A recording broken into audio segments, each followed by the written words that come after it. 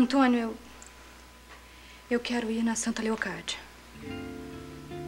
Agora? É, agora mesmo. Mas fazer o quê? Eu quero ver uma coisa. É que a Santa Leocádia não é tão perto assim. Eu fiquei de voltar pro pasto. Por favor. Se não fosse importante, eu não lhe pediria. Bom, se você quer tanto assim. Então vá avisar sua mãe. Eu já avisei. Nós podemos ir.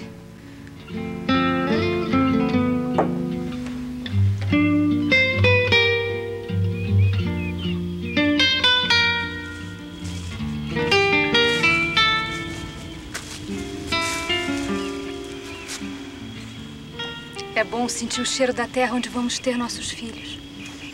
É. É muito bom. Você escolheu um lindo lugar, Antônio. Qualquer mulher se sentiria honrada.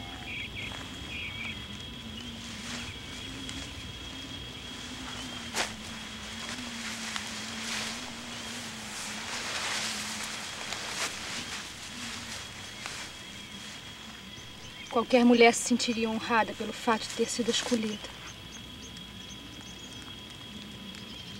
Ontem, quando você disse que ia ver a beijo, eu senti tanto medo. Eu pensei que ia te perder. Eu tô aqui. Você não perdeu. Você me escolheu. Me deu a maior prova de amor que um homem pode dar a uma mulher.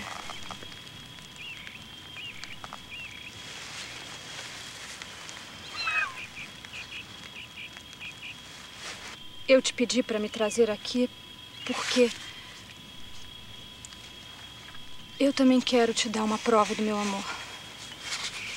E que prova é essa?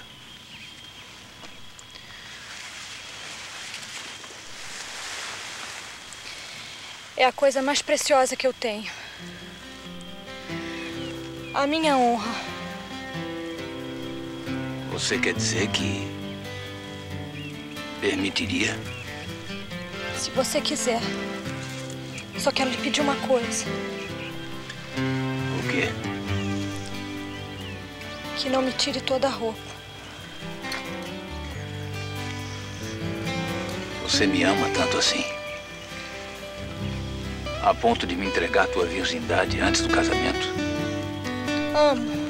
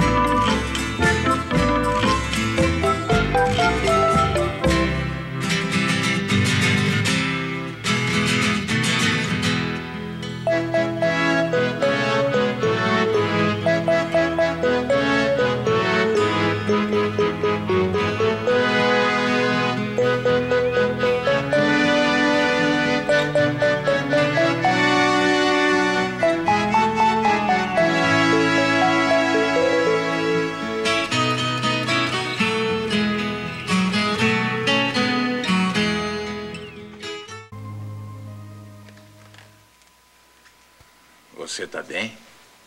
Estou. Estou muito bem. Para mim foi muito bom o que aconteceu.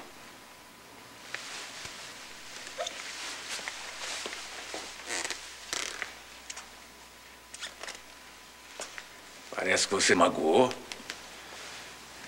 Fui bruto com você, te machuquei? Não, Antônio. Deve ser assim mesmo. Pois para mim foi muito bom. Se foi bom para você, foi bom para mim também. Eu estava pensando da gente voltar lá outro dia, na fazenda de Santa Leocádia. Eu queria te mostrar um desvio que eu estou pretendendo fazer no riacho. No riacho? É. Eu quero ver se você aprova o desvio.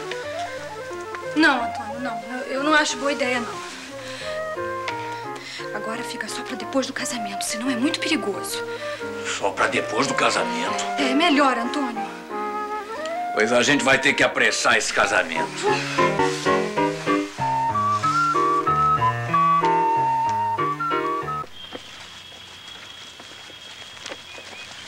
Ela deve gostar muito de você, Antônio. É. Pra ter se arriscado.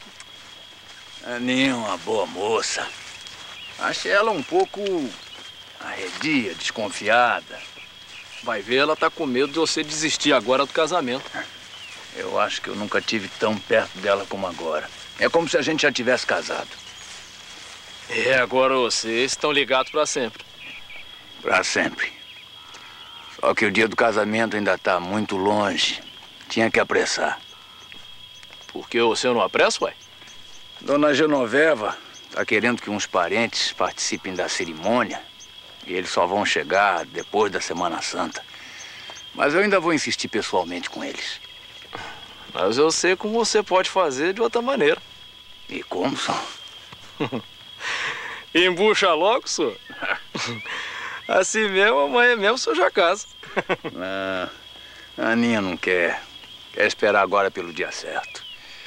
Diz que a primeira vez já foi muito arriscado, que agora é só depois do casamento. Eu sei como é, Antônio. Depois que a gente prova o mel, fica tudo mais difícil. Com a Aninha é diferente. Boa moça. Fiel. Moça de fibra. Me deu sua honra como se dá um cristal delicado para guardar. E eu quero ser merecedor dela. Como foi? Você fez aquilo com ele? Não! Como não?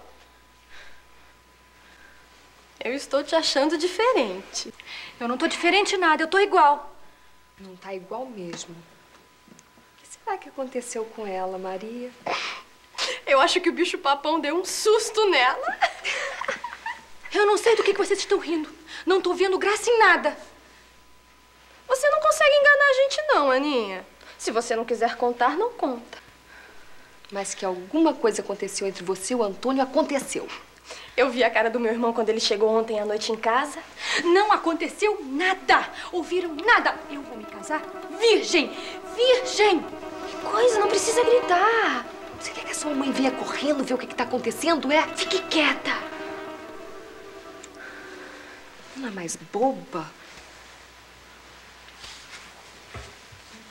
Sabe com quem a dona Ana se encontrou ontem à noite? Com quem? Com o Jacinto. Aonde? Diz que foi na beira do riacho.